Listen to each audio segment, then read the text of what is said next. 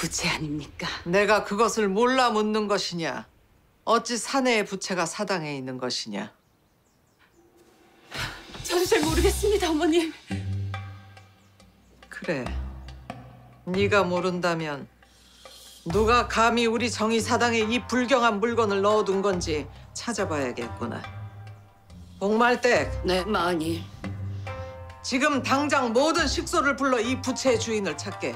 시도건을 써서라도 반드시 찾아내야 하네. 안 됩니다. 지금 뭐라 했느냐? 그것이 설마, 저- 그것이 설마 정녕 네가 그것이 제가 숨겨두었습니다. 이게 무슨 짓이냐? 감히 어딜 끼어들어? 연선아, 넌 나가 있거라.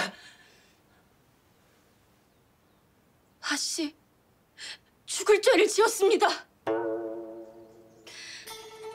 마님, 하씨는 모르는 일입니다. 그 부채는 제가 숨겨둔 것입니다.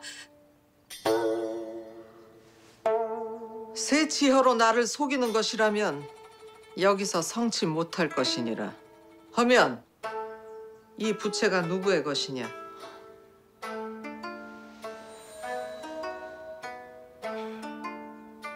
얼마 전 홀로 산길을 걷던 중 화적대를 만나 곤혹을 치를 뻔한 일이 있었습니다. 모슴들은 주랭랑을 치고 무서운 화적대들은 저를 향해서 칼을 빼들고 그 쌀을 내놓지 않으면 무시무시한 일을 당할 것이야. 한 발짝, 한 발짝. 저는 너무나 무서워서 아무것도 못하고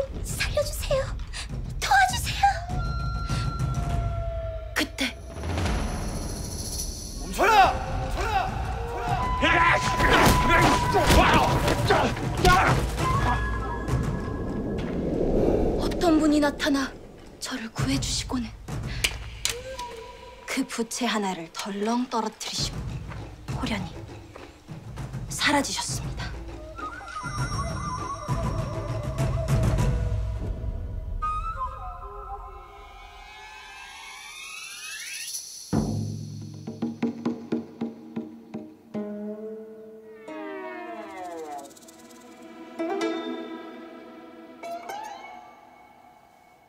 그래서 누군지 모른다.